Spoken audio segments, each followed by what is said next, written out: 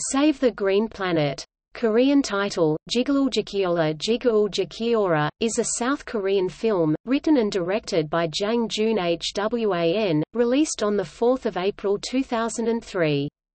The movie mixes elements of multiple genres, including comedy, science fiction, horror and thriller. The basic story begins when the main character, Lee Byung-gu, kidnaps another man, convinced that the latter is an alien.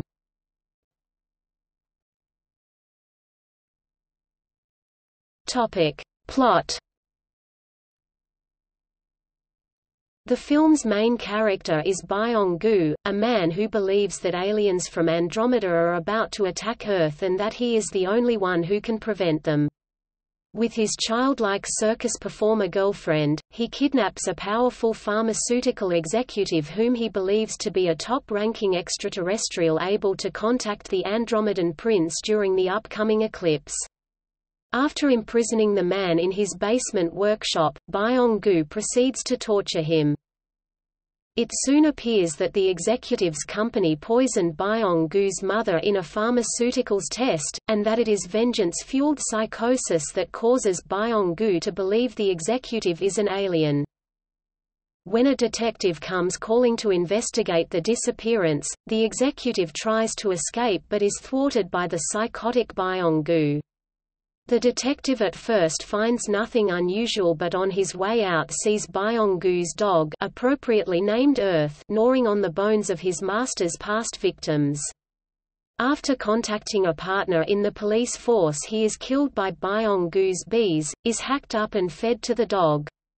Byong-gu then crucifies the executive and breaks his leg with the back of his axe, to punish him for his attempted escape. In a desperate move, the executive convinces Byong-gu that the bottle of benzene in his car trunk is the antidote for his comatose mother. As Byong-gu races to the hospital to deliver the antidote, the executive frees himself by pulling his hands through the nails. He then travels deeper into his captor's lair, finding evidence of his grim research.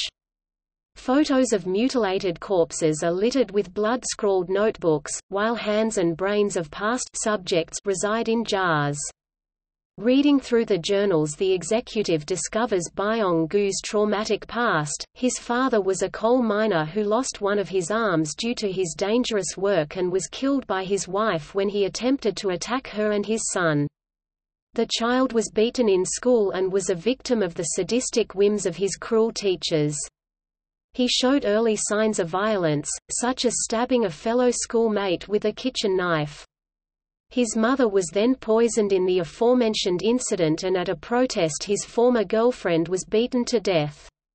He slowly went mad from the violence that surrounded him. As this is happening, the dead detective's partner arrives and finds the frantic executive.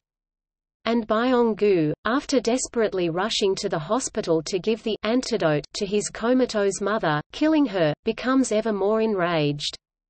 He returns home to kill the alien, only to find the detective there as well.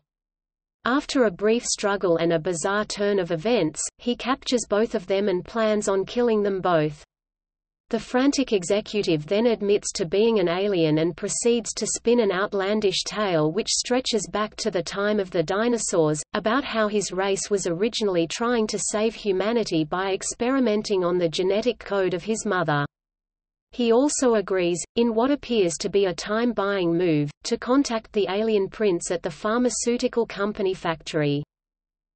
Byung-gu leaves the detective all his notes, saying that if he does not make it, he will have the responsibility of saving the planet. At the factory, the executive triggers a computer-controlled robotic arm to kill Byong-gu's girlfriend, and after a long struggle, he beats his captor almost to death. When the police arrive, they shoot Byong-gu, and as he bleeds to death he wonders aloud, "'Now who will save the Earth?' When the aliens do arrive and beam up the executive aboard their ship, we learn he is in fact the alien king himself. Disgusted and angered by the torture and corruption and evils of the world, he deems Earth a failed experiment and blasts it from creation. As the credits roll still photographs recap the entire journey of Byung-goo's life, focusing instead on the beautiful, happy moments of a young boy and man with his father and mother and girlfriend.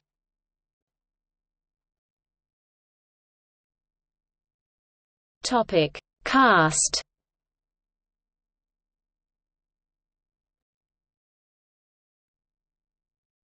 Topic: Production.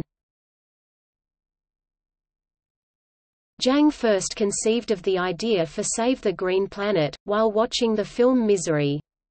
He enjoyed it, but was disappointed with the lack of depth of the Annie Wilkes character, and accordingly decided that if he made a film about a kidnapping, it would be staged from the point of view of the kidnapper. Later, Jang stumbled across a crank website accusing actor Leonardo DiCaprio of being an alien who wanted to conquer Earth by seducing all of its women, and he decided to combine the two concepts.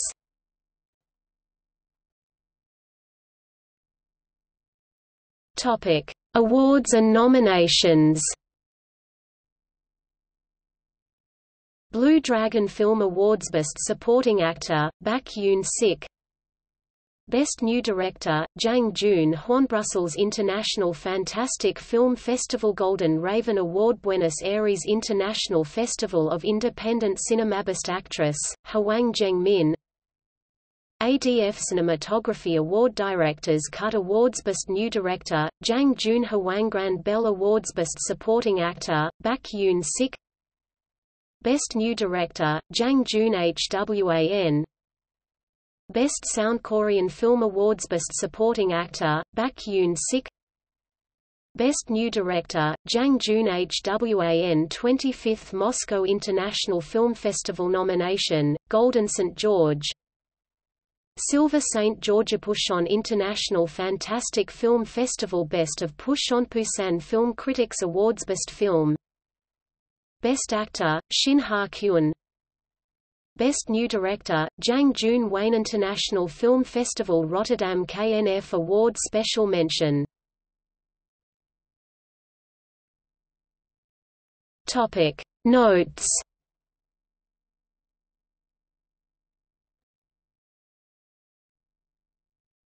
Topic External links Save the Green Planet on IMDb Shannon, Jeff. The 5th of August 2005. War of the Worlds. Inside His Head. Movie review. The Seattle Times. Retrieved 10 October 2007.